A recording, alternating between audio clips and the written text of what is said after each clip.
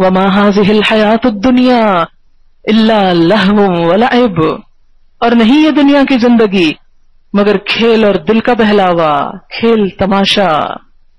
और खेल कितने दिन खेल सकता है इंसान? अच्छा बच्चों को कभी खेलते देखा है आपने? या आप खुद खेले हो?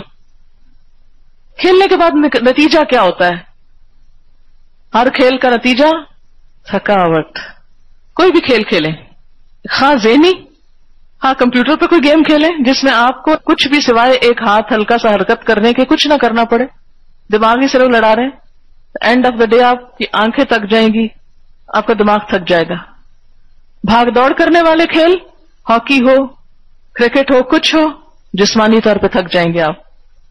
तो जब ये फरमाए कि दुनिया क्या है, खेल तमाशा, दुनिया के जितने काम हैं, बाज़ार में ही फिर लें। या घरों को ही ज़्यादा से ज़्यादा लुक आफ्टर कर लें। एंड ऑफ़ द डे थक के ऐसा बैठेंगे कि नमाज़ का भी होश नहीं रहेगा। कहेंगे बैठ के नमाज़ पढ़ लेते हैं। इन बातों का मकसद ये नहीं कि आप दुनिया छोड़ दें। मकसद ये है कि दुनिया को वो अहमियत न दें जिसके वो काबिल नहीं। वो घटिया चीज़ है। इन कामों पे इतना वक्त न लगाए कि अल्लाह के दीन के लिए वक्त ना बचे। नहीं। दुनिया के काम करते हुए अल्लाह के दीन के लिए वक्त निकालना है। अगर वो ना रहा तो नुकसान हो गया। सब कुछ करें, खाएँ, पिए, दुनिया के काम काज करें, लेकिन अल्लाह का वक्त, बस अल्लाह का वक्त, वो नहीं देना किसी और को। दुनिया इसके ऊपर गालिब ना आ जाए। ये दुनिया पे आ जाए तो आ जाए, कोई बात नहीं।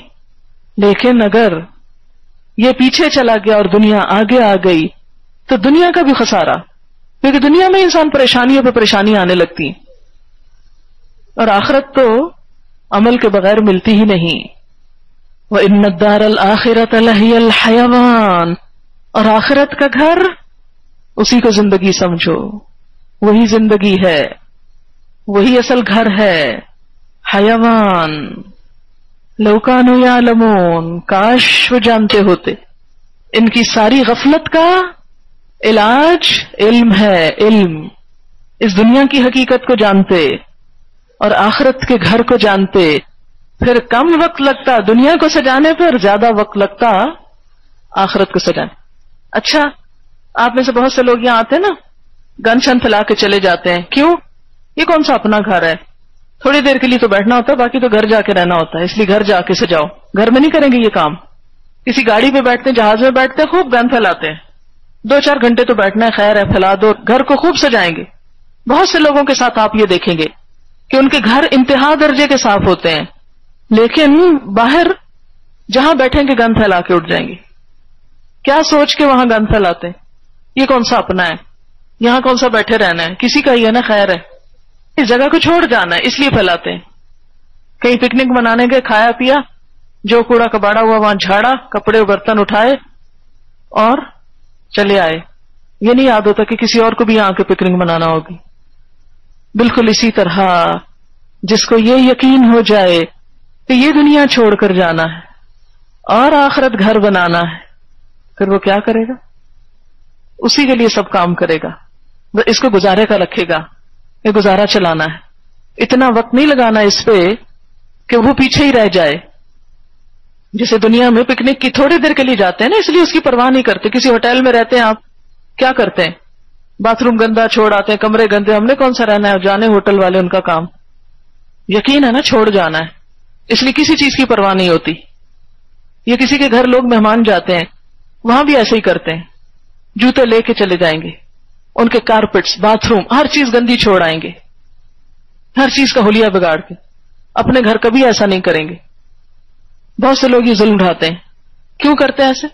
उनको पता ही हमारा अपना नहीं, यहाँ रहना नहीं। जिन्होंने रहना वो जाने। अगर दुनिया के बारे में भी हमको यकीन हो जाए, यहाँ रहना नहीं और वाकई नहीं रहना, यहाँ रहना नहीं तो फिर हम इसके बारे में इतने कंसर्न न हो। फिर हम आखरत के बारे में ज़्यादा कंसर्न हो। फिर हम आखरत की कीमत पर दुनिया न बनाए, दुनिया की कीमत पर आखरत बनाए। लो कानू या लमोन, काश वो जानते होते। साहबा कराम जब अपने घर भी तामीर करते थे ना तो ये सोच के, इस एहसास के साथ कि हमारे ईमान दीन का यहाँ क्या होगा। मगरबी ममालिक में जो लोग मुसलमान गए, इब्तदा में कम्युनिटी एक जगह पर थी, अपने दुनिया के फायदों के लिए सब कम्युनिटी कट्ठी कट्ठी रही।